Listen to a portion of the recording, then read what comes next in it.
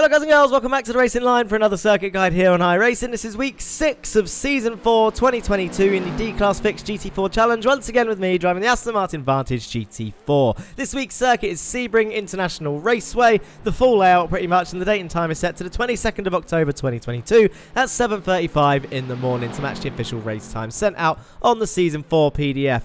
Same format as before, breakdown lap followed by a full speed uninterrupted lap followed by an off-board lap, and as usual this is filmed before the week has begun so it's difficult to compare lap times. But let's see if we can help you guys find some time around this quite long circuit. It's over a two minute lap and there's plenty of braking zones to take note of. So let's get started with our breakdown lap. So on the main straight, you want to slowly drift over to the right-hand side towards the wall, ready for the fast left-hander of turn one. You don't quite reach sixth gear here. You can change to sixth if you want to. Braking zone, the brown building on the right. Just as it goes out of shot, hard on the brakes, half on the brakes, down to fourth. Get it turned in towards the wall, and then when you see that cone up on the fence, then you start accelerating full power straight back up into fifth. Hold it to the right-hand side. There's the number three cones. That's where our braking zone is going to be. Straight line braking on the right-hand side of the circuit from fifth down into third. Get it turned in. Try and avoid the inside curb if you can, but accelerate from that curb point.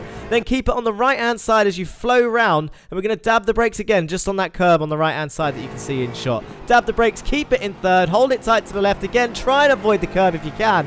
And then get the smoothest exit you possible without losing the rear end. Traction is so important through that section if you want to keep your time up and your momentum going down this straight. Want to be on the left-hand side now for a tight right-hand hairpin. Braking zone, the four cones on the left-hand side. Hard on the brakes from fifth down into second gear for the only time on this lap. Down into second, hold it tight to the right, straight on that throttle.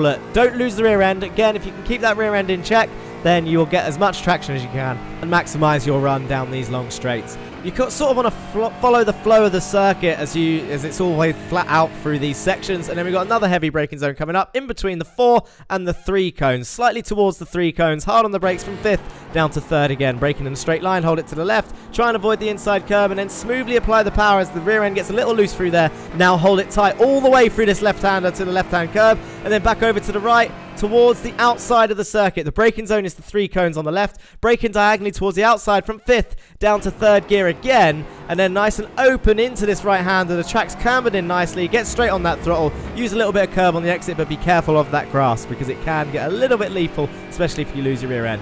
Flat out through here, cut this curve a little bit, keep it to the left because you're going to cut this curve as well in fifth gear. And then the three cones on the left. We need to try and carry as much speed as we can through these S's. So we're going to be hard on the brakes down to fourth and then keep it in fourth. Slowly apply the power, cut this curve a little bit with two wheels, full throttle all the way through here. Our next braking zone is going to be on the left-hand side past the line, you'll see, and we're going to keep it in fourth. So dab the brakes just after that curb, keep it in fourth, headed towards the apex, and then accelerate out using all the curb on the exit. Again, be careful of that grass on the left-hand side because it can pull you straight off the circuit in your 1x and invalidate your lap. Or worse, end your race. We've got a nice long straight now for a quick breather before the final corner, a tricky one. We're going to start turning in at the two cones, but we're not going to brake until about halfway between the two and the one cone.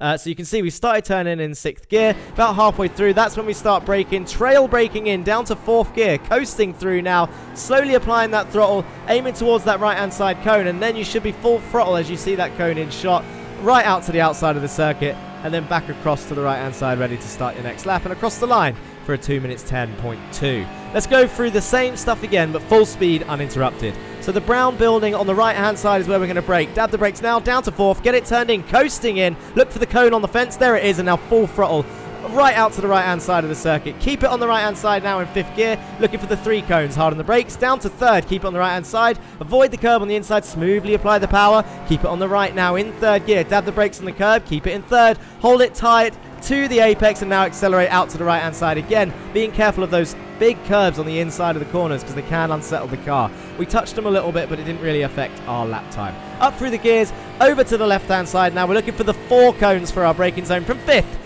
down into second gear, hard on the brakes, down to second, start turning in, hit that apex and now straight on that power, being careful not to wheel spin or get on the grass. You can see as long as your car is in a straight line, you should be able to get the traction out of that corner. Tried it in third, didn't make any gains. In second, gained about a tenth, so it's definitely worth doing it in second gear. Left-hand side, in between the four and the three cones, down to third gear, get it turned in, coasting in towards the apex, smoothly apply the power, careful of the rear end, hold it tight to the left-hand side, up into fourth, keep it on the left, keep it in fourth, Over to the right hand side now as we go up into fifth. braking diagonally to the outside of the track at the number three cones, down to third, hit the apex, and then straight back on that power smoothly so that you don't lose the rear end and maximize the traction for this flat out section.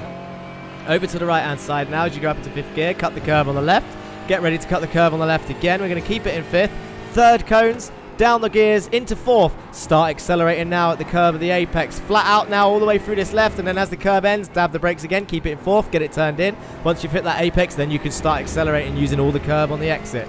Keep it on the left now. You've only got one braking zone to think about. All the pressure's off. You've done all of those corners. There really is a lot of corners on this circuit, and we've only got one to worry about. We're going to start turning in the two cones and start braking a little bit later. Start turning in now. Now brake. Down to fourth. Coasting in, trying to scrub off speed, but not too much. As you want to start getting back on the throttle around about that midpoint, and then away you go. Slingshotting your way right to the outside of the circuit and across the line. Once again for a 2 minute 10.2.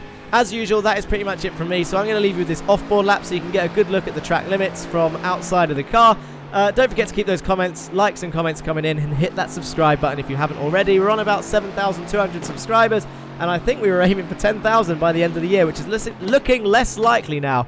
But you never know. Maybe you guys can pull it out of the bag like you did last year at Christmas time. It would mean, well, I don't, I, I can't see it happening, but genuinely, if you guys do it, I'll be so, so impressed. And then 10k is a massive milestone I just didn't think uh, would happen. But we'll, we'll see what happens. Like I said, that's pretty much it from me. If I don't see you on track this week, and I'll see you next week for the next video here on the Racing Line. Peace!